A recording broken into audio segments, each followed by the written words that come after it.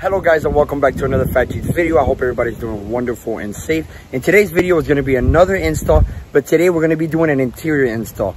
Today we're going to be installing some new AC vents from American Modified. So let's go check it out. Alright guys, so this is what's inside the box. Of course you have your harness, which everything's plug and play.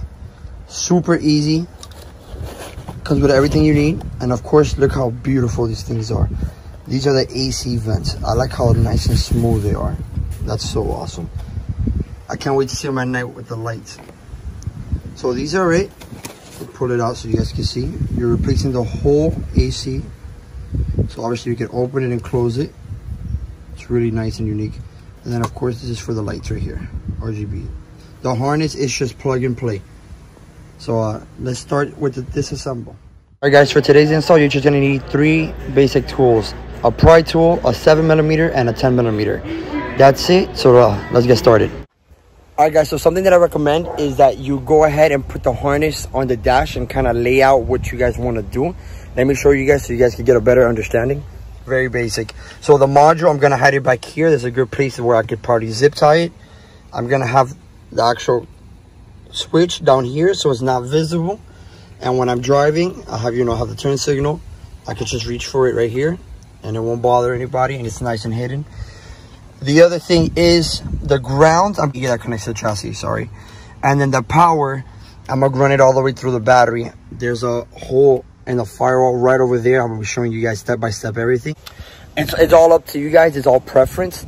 Me personally, I'm gonna be wiring it straight to the battery. So whenever I'm at a Jeep meet, you know, bonfires, you know, little get-togethers with the Jeep, I'll be able to have the lights on without having the car on accessory mode and worry about my battery draining. So I'm gonna have it straight up wired up to the battery fused. And I was gonna do it to the cigarette lighter, but when you do it to the cigarette lighter, when you turn off your car, the lights go off. So that's why I'm gonna be going that route. So let's start I am gonna be running a switch. So I'll be able to turn it on and off whenever I want. Um, so I hooked this up to a fuse and the switch. But if you guys wanna just have it to like a key start, I would recommend the cigarette lighter it's a lot easier and you are going to be needing to connect this to a switch. All right guys so for the disassembling it is very very easy. Um you use a seven millimeter socket to remove a bolt that's here and there was another one that's here sorry. I'll show you guys now. There's one in here and depending if you have an aftermarket radio or not you're going to have one under here you see? So the first thing you want to want to do is pull this down. Once you pull the plastic cover down it's very easy. It's being held by clips. You're gonna see there's one and then the other one's right there. So we're gonna use a seven millimeter socket pull that out and then we're gonna pull the other two and then the dash should come right off. Super easy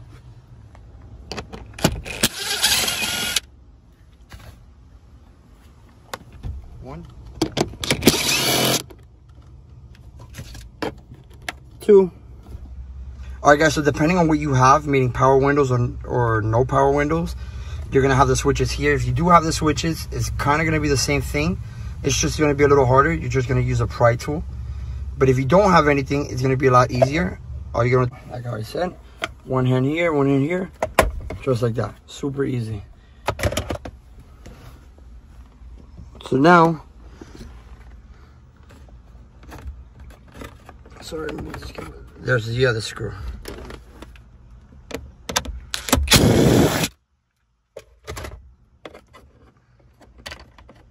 Three. All right, guys, so like how I mentioned before, if you do not have an aftermarket radio, or maybe you do, that depends, every radio is different. Um, there's gonna be one right under here. Sorry, I haven't removed it in a while. So, and it clips, there you go. So you're gonna have one in there same size and everything. Just pull that one out. Once you've pulled out out of those three or four screws the dash should come right out. So what i recommend you do is drop the steering wheel just like that. Bear with me. Okay. Let's move the harness out of the way so that doesn't get caught up or anything. Prime example okay so very easy You can put it from any side you want. I like usually doing from the top towards you, just like that. Disconnect that side. Have the car easy, it's just gonna come right on. You might have to play with it a little bit. Radio side is gonna have to come up first. Bear with me, I'm doing this with one hand. There you go.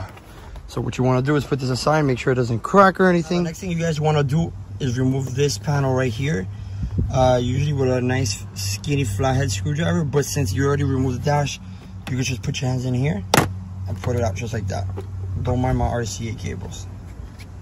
All right guys, so now for the passenger side, um, we're not gonna be removing the whole dash because you do have the airbag and we want to try to avoid that as much as possible. So what we're gonna do is remove this from here and I'll show you guys how to remove it from inside in just a second. So let's do this first and then we get to that.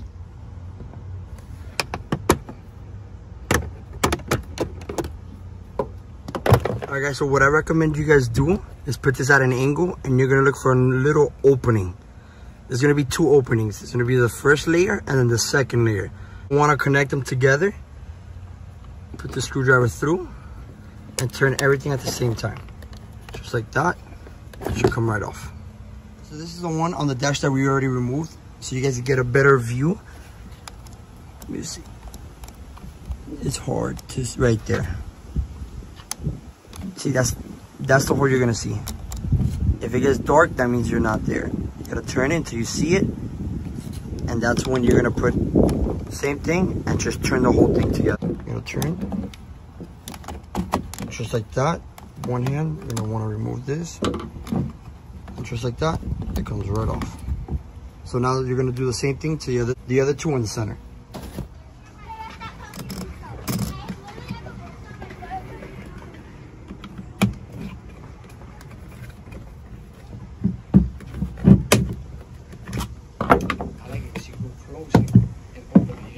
Yeah.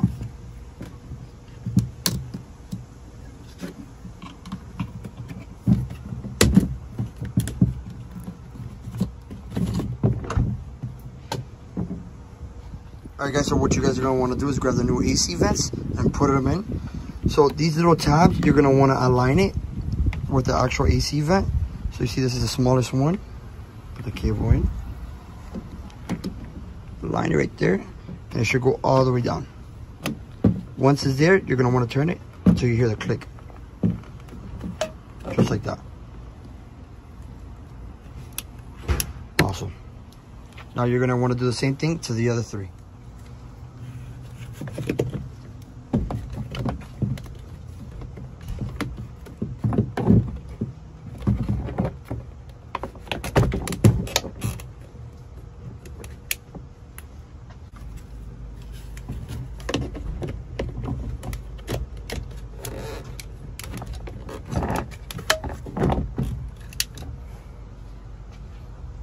Sorry for the mess. So what I found easier is that we start from the top over there, but then we work our way down right here. We'll have one cable for one AC vent, have the other cable for the AC vent, and uh, you know, as well run the power. So whoever wants to run it off the uh, cigarette lighter is going to be right there, make their life easier. Um, but what I'm going to do is do that, go through the glove box into here, and it's going to make the setup and the install a lot much easier. So you're going to want to go ahead and remove the glove box you're going to want to pinch the two sides together and it's going to come right out. I'll show you guys now. Awesome. Pull the glove box, pinch the sides, comes right off. All right, guys, so for now, we're just going to leave this here. We're going to work on that, but we want to get an estimated length. So we don't want to send too much cable and then we run out of cable and then we're going to have to rewire everything. So just to get an estimate, make sure right there. So we're going to run it over the cluster to make it a lot easier. And then right here, this is where the, it's gonna get a little more difficult, but it's not too bad. Where my RCAs are running to the radio, we're gonna go through there. Maybe up here. So we're gonna run it through there and should be able to come out through here. I'm gonna show you guys now. So you're gonna wanna put the stuff through here. I'll show you guys now. And then you should be able to, sorry, bear with me. Be able to see it. Yeah, you see it right there? So you're gonna wanna use both hands to pass through the cables. Look at that opening right through there. So this is what I was saying. Once you have it on the other side, Be careful, be gentle with it. Do it with two hands. I'm holding the camera so I can show you guys. But down through there and out through this side. All right, guys, so once you run it through there, what I recommend you guys do now is bring it down. I'll show you guys now. You have space in here, then you have space over here. But of course, you want to stay away from the radio so you don't have any interference. So I'm gonna run it down through here. I'll show you guys now. You see all that space. Have a harness for one of the AC vents and then the other. Then from there, we'll pass it down through here and go back up. And I'll show you guys now.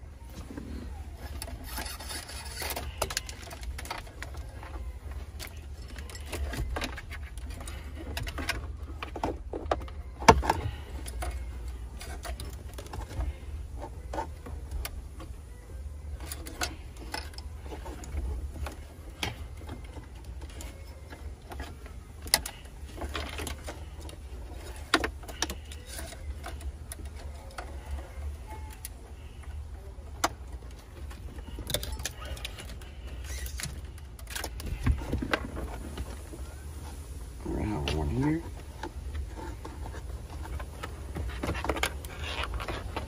Here's the second one.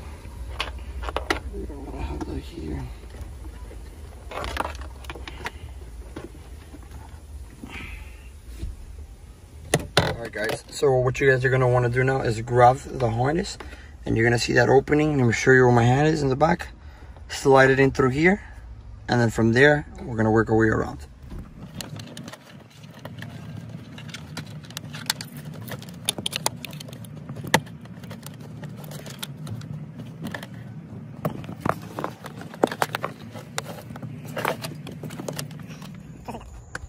All right guys so what i'm going to do is gonna i'm gonna run it. The passenger harness side harness sorry i'm gonna run it through this right here. So i'm able to zip tie it you see? And it doesn't get away of the glove box.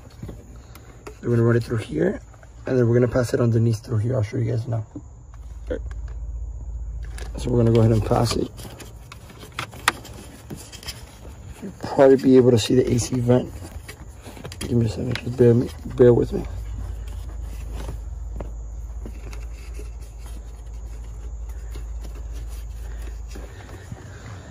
So now you see this little hole? You see my finger? You could either run it through through that corner over there, but it's a little bit more tough and you're kind of getting close to the airbag. So I'm going to be avoiding that. You see? I'm going underneath.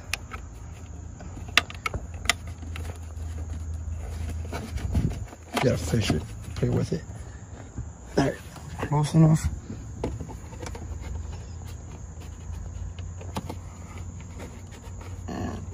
got it just like that. So you're following the AC tunnel what uh, compartment whatever you want to call it. You're kind of going to be following it and look you can't even see it. Now here I'm just going to organize it and zip tie it so it doesn't get in the way and you can't see anything. All right guys so now for the power source you're going to want to go through here this little firewall hole right here and it's gonna take you right to the battery. Mine is already open because I've used it before. So we're gonna go ahead and pass that through and I'll show you how it comes out on the other side. It's really hard to tell. Let me see if I can zoom in for you. See, that's the little firewall. firewall. So you're gonna wanna go ahead and pull it through. Nice and snug. You can now, now you can zip tie it pass through here. Oh shoot, I'm still zoomed in, I'm sorry. Alright guys, um, so Alright guys, so once you put it through there, you can zip tie it nice and snug, hide it. It's not that visible.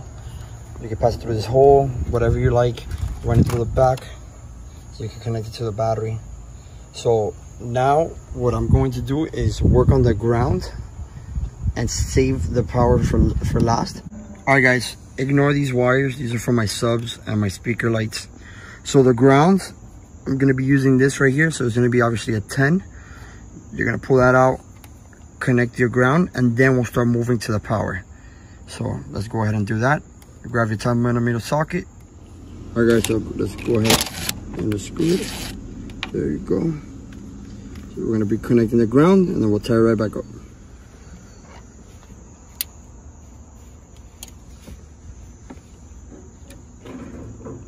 Go ahead and screw it now. Let me screw this so it can be nice and snug. And I'll show you guys what we're gonna do now. Before we start putting everything on, zip tying everything, we're gonna make sure that the lights, everything works the way it's supposed to. So you're gonna wanna go ahead and grab your tester, grab your cable.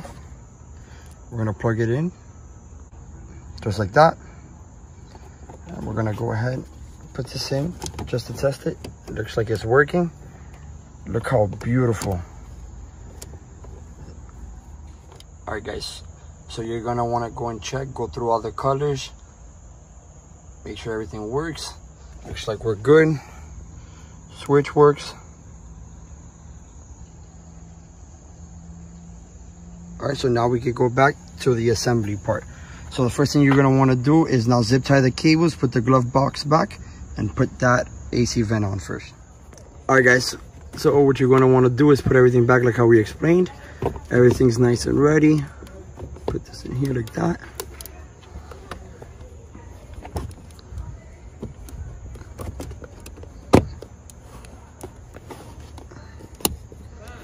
And just like that, that means it's closed. That side's open, wow. So now you could go ahead, zip tie it, put the glove box back in, and now start working your way down. All right, guys, so you're gonna wanna go ahead and connect them. I'll show you guys now, just like that. So these are not connected, they're nice, they both work. So we're gonna go ahead, start mounting it, and start connecting this one, and start working with the switch. All right, guys, so you're gonna wanna go ahead and make sure everything works. See if I can get better, there you go.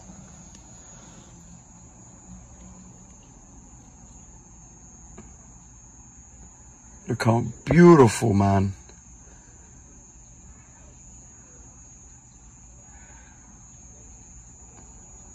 Wow, my favorite one. I do like the green.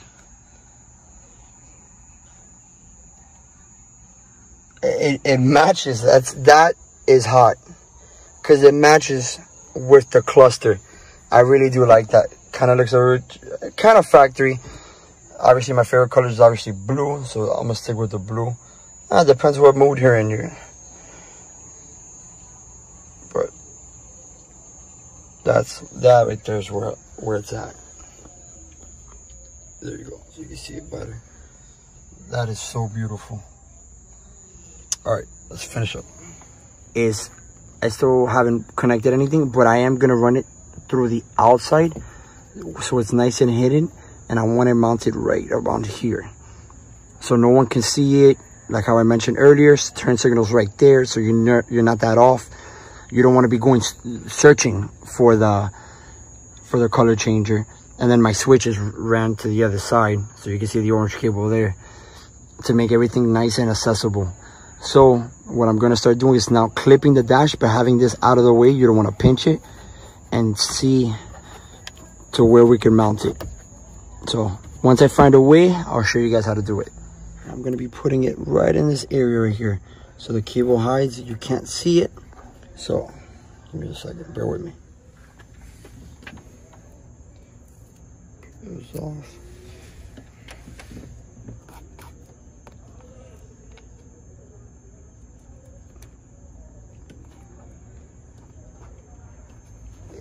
So you see, you can't even see it. So we're gonna go ahead and start putting everything back. See, from right here, start switching the lights. Doesn't get in the way of anything, not visible at all. You guys wanna see it? Not like looking for some action. I must be dreaming, but shouldn't your thoughts wander back home to me? I'll